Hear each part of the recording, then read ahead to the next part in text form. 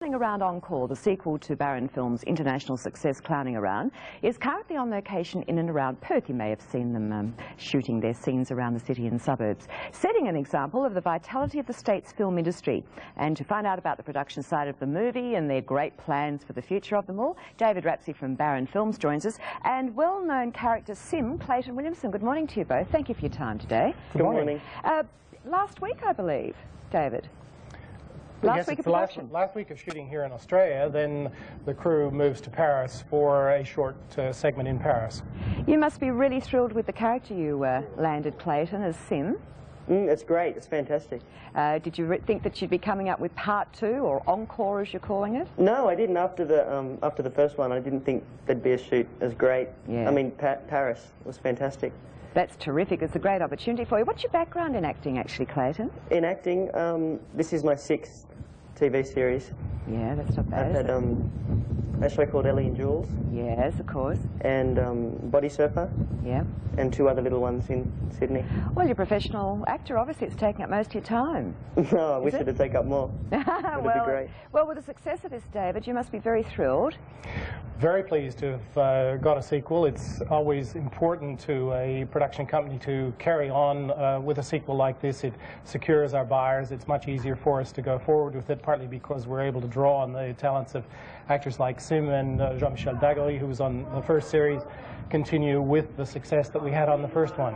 It's good for Media, us. there, there was a media opening recently. We are looking at the vision, which you have uh, no access to at the moment there, but uh, it was for the, an opportunity for everybody in Perth to get to speak to you all at Barron Films and actors and so forth and, and realise just how terrific the industry is going in WA. Well, I'm not sure that I'd say that the industry is in terrific shape. I think it's going to It's be going in to the be, next yeah. year. Um, Barron Films has been very busy, but unfortunately there has been a downturn in the industry all across Australia. Uh, we're just very lucky that we've been able to keep in production. Um, actually, for yourself, Clayton, do you like working with film or, or do, you, do you prefer studio? Uh, well, I love film. I love film. I love. I just love it. Being out on location, it's fantastic. Yes, it must uh, feel a little bit more natural for all of you, actually. It's very Um, natural to go to Paris, isn't it, Claire? Oh yeah, yeah. hey, what's going to happen over there, actually, David? What, what sort of scenes are you shooting? Well, there's actually a considerable portion of the series is set in Paris. Uh, three episodes basically are set in Paris, and the tiny bit of the fourth episode.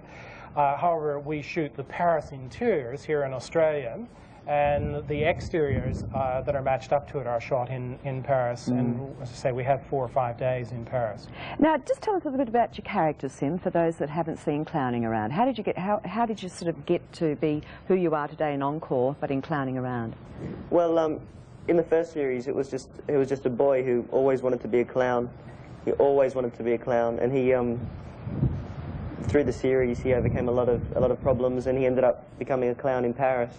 But he, and he met a lot of uh, terrific people along the way. Mm. Oh, uh, first one, of course, uh, well-known American actor Van Johnson, Yeah, he was great. He was wasn't fantastic. he? Hated talking. Pardon? He hated talking. Oh, yeah. I, don't think, I don't think I ever heard him quiet. No, I absolutely agree.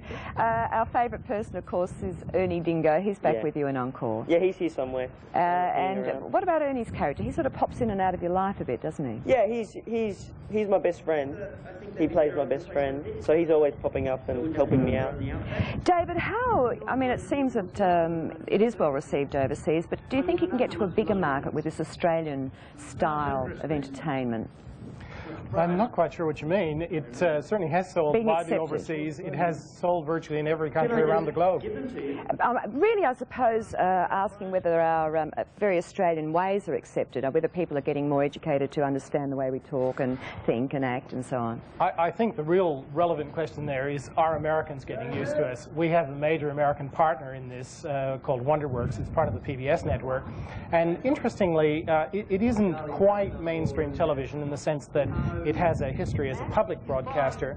However, they are extremely interested in it precisely because it's set in Australia, precisely because people are different. They have certain restrictions about words that we use if they think that their audiences are not going to be able to understand them. However, you know, provided the context gives us the sense, they're absolutely happy with Australian expressions and, to say, delighted with the visual environment. It's something that they can't get themselves. And it's, uh, you know, it's certainly testimony to the success of the thing that they've gone on with a second series with us. I guess the introduction of uh, well-known overseas names, for example, like Van Johnson last time, Philip uh, Morris, known for Tracks of Glory and Mission Impossible, that inclusion would help the market. Yes, it does, but I'd have to say to their credit that what they're really impressed with is um, with Clayton as Great. an actor, that, that it is in fact those central roles that really make the difference in this series. I mean, Clayton plays a role that's, you know, 20 times the size of anyone else in the series, and if he wasn't wonderful, it wouldn't carry, and he is.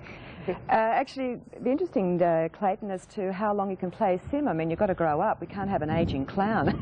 Oh, I know. Continuing with clowning around number six. Oh gosh.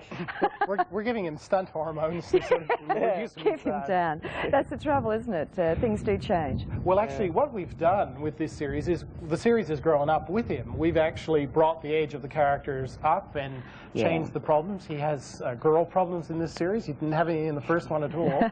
and the, the whole nature of the material has changed to some degree to accommodate his changing age.